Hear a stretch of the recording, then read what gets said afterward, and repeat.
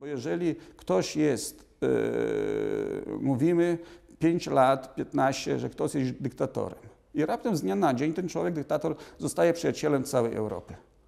I wszyscy się na to zgadzają w Europie. To proszę mi powiedzieć, to z kim yy, też jest niedobrze? Nie tylko z dyktatorem. Jest niedobrze z tą całą Europą, yy, która yy, to poczucie wolności, zrozumienia, zasad ma też gdzieś yy, ich nie rozumie, nie chce ich, o nich pamiętać, nie chce im przekazywać, przeciwko temu nikt nie protestuje, przeciwko swoim rządom, przeciwko tych decyzjom, więc coś się złego dzieje. Czy poradziliśmy sobie z tą wolnością? Czy byliśmy w stanie z tym poradzić? Czy y, nasze te systemy wymagają być może pewnej skorygowania w imię bez, bezkresnej i bezodpowiedzialności, nieodpowiedzialnej wolności?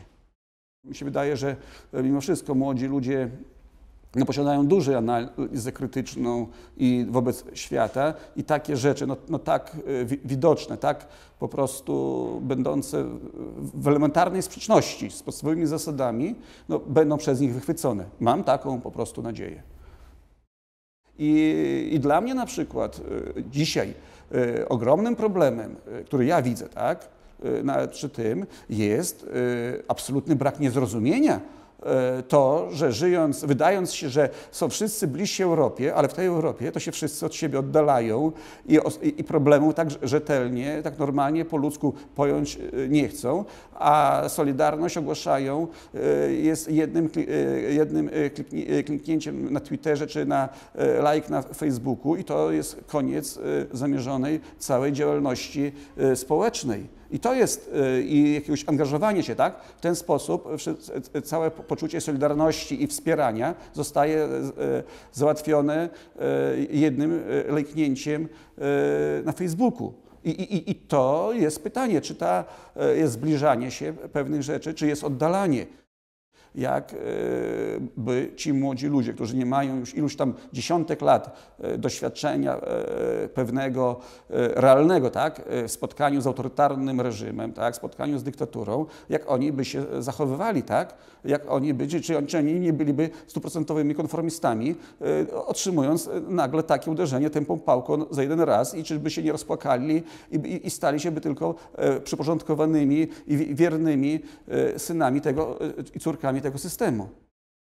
To, co dzisiaj robię w słowem pisanym, czy też w medium elektronicznym, jakim jest radio, jest ludziom dać szansę na możliwość chociaż trochę odrobinę zrozumienia tego świata i odrobinę zmuszenia go do refleksji. I to jest dzisiaj dla mnie wyzwanie, aby pomóc ludziom w wyborze, pomóc ludziom w refleksji, bo bezrefleksyjność, bez poczucia refleksji nie będzie człowiek miał żadnej szansy na poczucie zrozumienia wolności i bycia w wolności. I to właśnie refleksja powoduje, zastanowienie się powoduje, że człowiek kolejnym krokiem będzie myślenie w takim czy innym szukanie, poszukiwanie sobie wolności pewnej, czy wewnętrznej, czy zespołowej, czy, czy powiedzmy sobie już światopoglądowej, czy politycznej.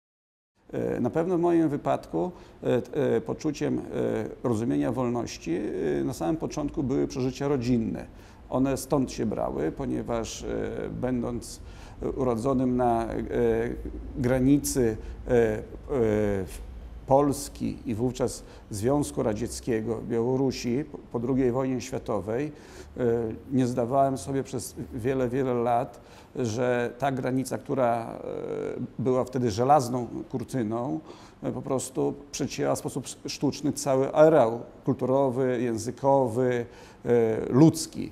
I na pewno moi rodzice w myślach, zwłaszcza tata, powracał do wspomnieniach i jakiego sąsiedzi, do tych miejscowości, do tych ludzi, których ja nie znałem, nie pamiętałem, nie mogłem widzieć, bo oni już byli za granicą. Oni już byli za granicą. I tylko przypadek sprawił, że zostałem jeszcze obywatelem Polski, a nie obywatelem Wielkiego Związku Radzieckiego od Brześcia do Władywostoku.